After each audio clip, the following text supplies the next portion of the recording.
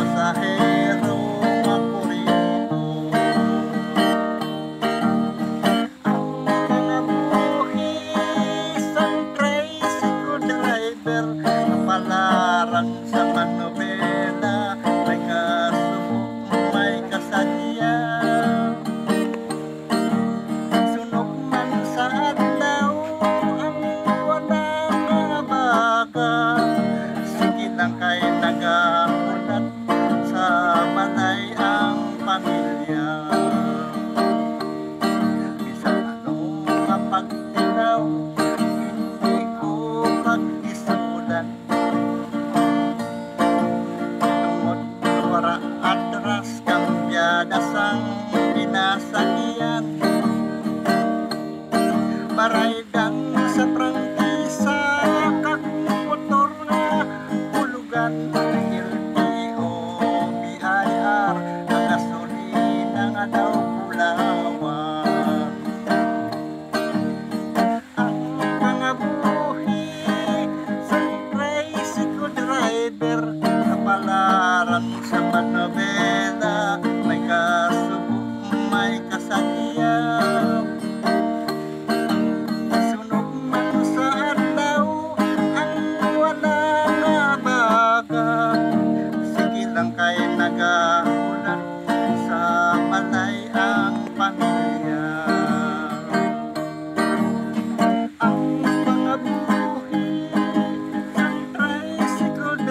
better